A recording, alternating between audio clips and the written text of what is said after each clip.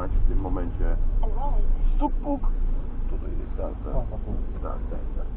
Troszkę dalej. zobacz. Ja sobie tylko przyparkuję.